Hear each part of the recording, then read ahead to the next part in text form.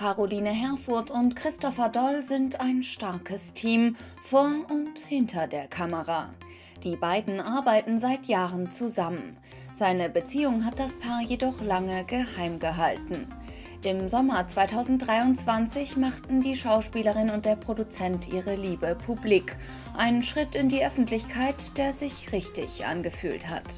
Es hat sich einfach äh, mittlerweile nach so einer langen Zeit, in der man eben auch als Arbeits Team ähm, jetzt so lange schon beruflich da äh, steht und er jetzt auch die Regie übernommen hat für einen Film, vor dem ich vor der Kamera stand, unnatürlich angefühlt, ähm, ja, damit nicht offen umzugehen. Auf der Medienboard-Party im Rahmen der Berlinale steht auch das gemeinsame Projekt des Paares im Vordergrund. Mit dem Familiendrama Eine Million Minuten feiert Christopher Doll sein Debüt als Regisseur. Etwas, das Caroline stolz macht. Ähm, hatte schon sehr lange die, den Wunsch und die Sehnsucht danach, dass er sich diesen Hut mal aufsetzt und ich bin sehr stolz, dass er das gemacht hat.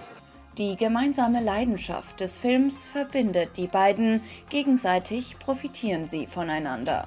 Wir arbeiten ja schon wirklich sehr, sehr viele Jahre zusammen und sehr eng und sind da sehr vertraut. Und ähm, ich glaube, dass man sich in der Arbeit, wenn man so eng zusammenarbeitet, die ganze Zeit Sachen voneinander anguckt und sich gegenseitig inspiriert und äh, auch mal sagt, jetzt ist mal Schluss oder da geht's nicht lang und da geht's lang. Wie der gemeinsame Film des Paares geworden ist, sehen Fans seit dem 2. Februar 2024 auf der Kinoleinwand.